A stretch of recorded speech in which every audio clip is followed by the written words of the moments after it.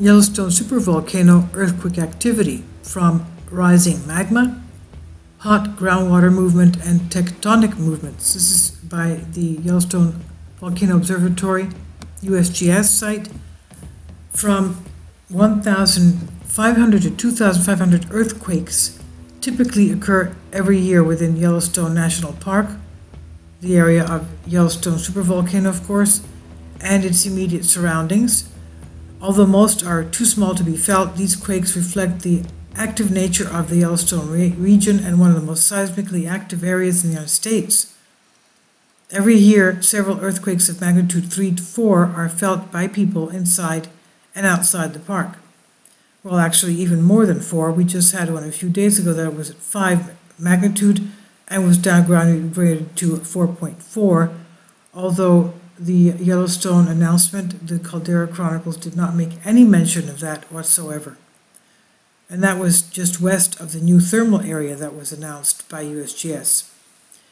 Now, going back to this, although rising magma and hot groundwater movement cause some earthquakes, many occur as a result of basin and range extension of the western United States.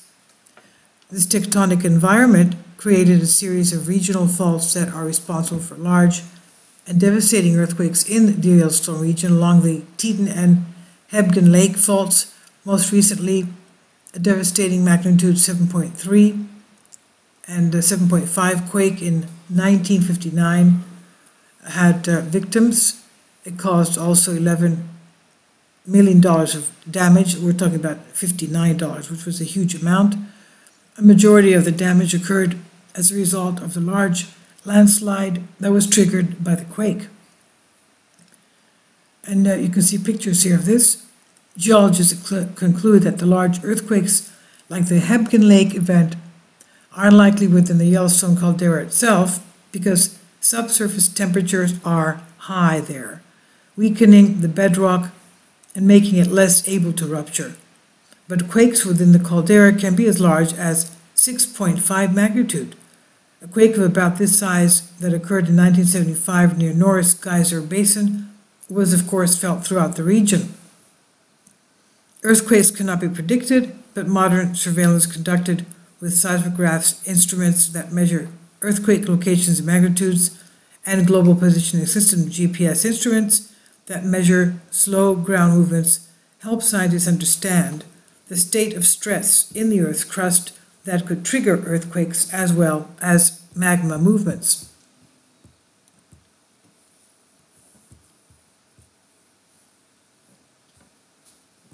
Now, the way they monitor earthquakes, we have are, of course, the uh, daily uh, quake notification. And they can be from very small to uh, whatever uh, magnitude they are in the Yellowstone area and going all the way up to uh, Montana, where we had quake swarms lately in the area of the uh, long, the um, two uh, twin volcanoes, the Crow Peaks and the Longhorn, I think, I can't remember it really. Uh, and the quake uh, clusters are still going on. But of course, we have to realize that this area of north of Yellowstone Lake in Montana is basically on the fault line, north to south, that runs through Yellowstone and goes all the way down to southeast Utah, where we've had other quake swarms as well for the past couple of weeks. And um, now concerning the deformation, monitoring deformation in Yellowstone National Park, which is of course due to the tectonic movements and the water buildup. The um, area of the caldera has subsided, whereas the Norris Geyser Basin, where we have the Steamboat Geyser that has erupted over 30 times last year and at least 12 this year, Norris Geyser has been rising. So continuous recording and temporary deployment of Global Positioning Systems GPS receivers and benchmarks Unsolid moment, monuments are uh, employed at Yellowstone to precisely record their positions. The time variations over days, months, years, etc., provide the velocity in centimeters per year of the site relative to rest of the points in Yellowstone and the rest of the North American continent. The velocity fields thus map spatial variations of the ground due to such volcanic processes as magma and hydrothermal transport and fault motions released to earthquakes. Measurements of ground monitors using GPS at Yellowstone provide a method of monitoring its activity volcanically and tectonic process tectonic processes that are necessary for understanding the properties and locations of the sources as well as providing information on possible premonitory uh, motions that precede a volcanic or an earthquake event. The GPS stations are maintained by the Plate Boundary Observatory via UNAVCO. The data are transmitted via radio and satellite links to various grounds around groups around the world for recording and processing. GPS data plotted through the YVO monitoring interface are processed by UNAVCO. The uh, Norris temperature now. The Norris Geyser Basin temperature in 2003. Back then, activity in the Norris Geyser increased and scientists logged higher ground temperatures and witnessed a greater number of geyser eruptions. In order to better understand the hydrothermal system at Yellowstone, temporary network of monitoring equipment was installed, which was eventually followed by the installation of a more robust network. An article titled Tracking Yellowstone's Activity is published in 2012, uh, sorry, April uh, 2011 uh, issue of Earth Magazine, focusing on scientific research underway at Norris Geyser Basin. As we know, that's where we have the Steamboat Geyser, also Agnes Geyser, Constant Geyser, Opalescent Spring, Pork Chop Geyser, Grays Lakes Tributary, Tantalus Creek, Vixen Sol, and Nuphar Lake Air. Now, Norris Geyser has long been known as the highly dynamic. Recent evidence implies that the area may be highly responsible to earthquakes responsive to the earthquakes and ground movements associated with the inflation and deflation of the Yellowstone caldera in an effort to better document changes in water flow and heat discharge from various variant parts of the basin. WVO recently installed a series of radio equipped temperature sensors. The equipment is purchased, uh, installed with funds made available through the American Reinvestment and Recovery Act. Now, the measurement sites, 10 sites are currently monitored.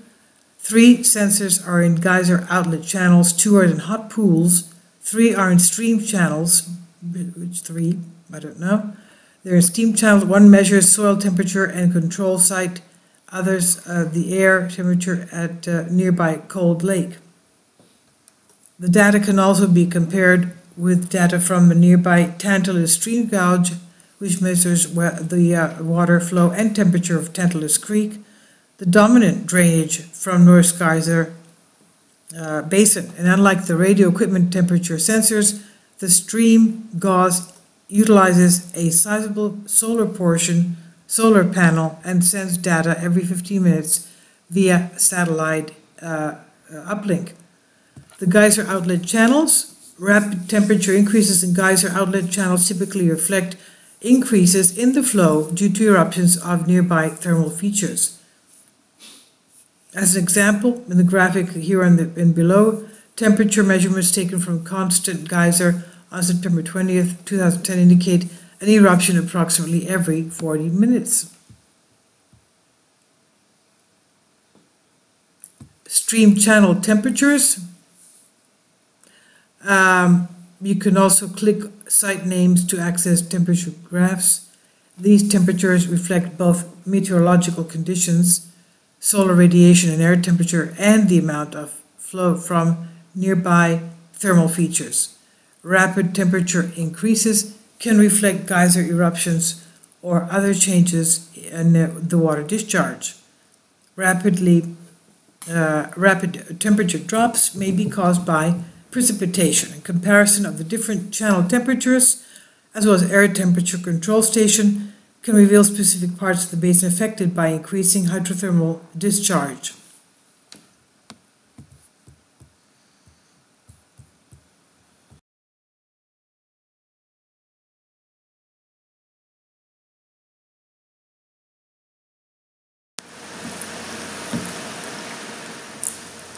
If you'd like to join me on my Patreon account, you will hear content not covered by mainstream media. These riveting stories will be based on my research, and I will state my opinions and give my personal insight on diverse and controversial subjects and world events, events not covered by mainstream media, and not certainly on not supported by YouTube guidelines. So whatever I have on my Patreon, most of those will not be on my YouTube channel. Please consider becoming a member today. More of the, the most significant and important videos will be on my Patreon channel. Your support helps me to continue my research and keeps this YouTube channel alive. And we depend on your support, your generous charity, because we help economically challenged families here in Athens, Greece, in Kapota, and we also help the young generation with university tuition and the community around our church. Thank you.